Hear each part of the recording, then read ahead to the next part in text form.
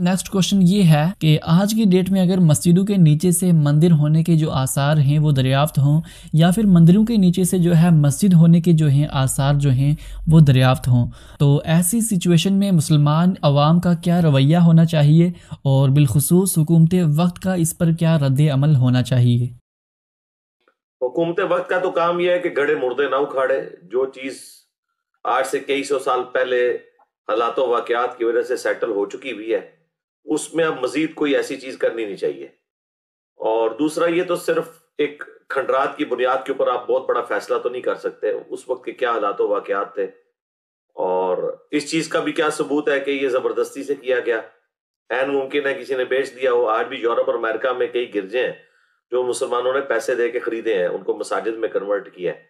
तो आठ से हज़ार साल बाद आने वाले लोग ये कहेंगे कि यहाँ पे पहले गिरजा होता था, मुसलमानों ने मस्जिद बना ली, देखें इसमें से सलीब का निशान निकला है ये जीसस क्राइस्ट की कोई मूर्ति निकल आई है तो ये तो बड़ी सख्त ज़्यादा वाली बात है। हुकूमत का काम यह है कि जो चीज़ जिधर है उसे फ्रीज रखे।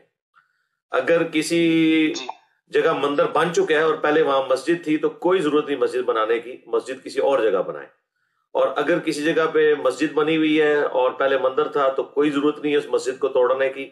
अगर मंदिर वहाँ पे था पहले उसकी हमें कोई हिस्ट्री नहीं पता ना कोई ऑथेंटिसिटी है तो आप मंदिर के लिए गवर्नमेंट का काम है, अलग से कोई और ज़मीन दे दे, ज़रूरी है उसी जगह पे आपने बनाना है।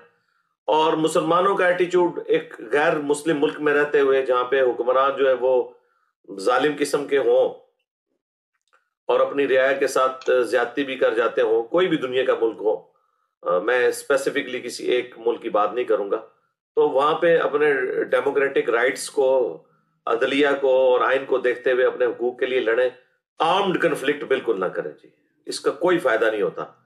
चंद एक लोग जज्बात में आके आर्म्ड कन्फ्लिक्ट करते हैं असला हाथ में पकड़ते हैं और बाकी मुसलमानों की ज़िंदगी है जीरन कर देते हैं। मुझे बताएँ, यूरोप और अमेरिका में हमने कौन सा आर्म्ड कन्फ्लिक्ट किया हुआ है जो आज इतने ज़्यादा मुसलमान वहाँ पे मौजूद हैं? फ्रांस में आप देख लें ऑलमोस्ट इस वक्त भी पाँच हज़ार से ज़्यादा मसाजिद मौजूद हैं। ठीक है? और ऑलमोस्ट पाँच लाख से ज़्यादा मुसलमान है। और पूरे यूरोप में मिला के तो पचास लाख से ज़्यादा मुसलमान होंगे। तो ये मतलब थोड़ी तादाद है। तो इन सारे लोगों को अजाब में डालना इस तरह के जज्बाती रवैये अख्तियार करके इसका कोई फ़ायदा नहीं है